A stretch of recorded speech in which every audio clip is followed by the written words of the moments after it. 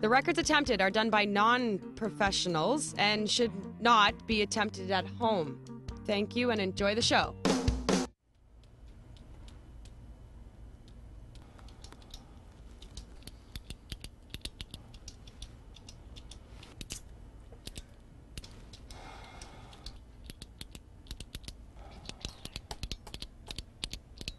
It's kind of hard to pick what, what we actually want to do. You know what? Just check the internet. See what we got. Dude, look. What? What is it? Most kicks to the head in one minute. It was done by Nick Gatlin from the USA. Yeah. Only 77, man. We can't do that. I can do that. You That's do one that. I can actually do. You you I've can, kicked my own head before. you can kick yourself in the face. I can kick myself in the face. You're telling me you can kick yourself in the face. I can kick myself in the face. Let's do it. What, right now?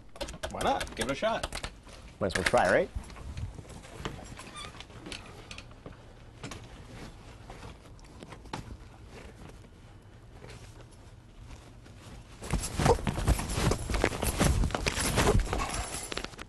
Can't do it, can you? No. All right. All right.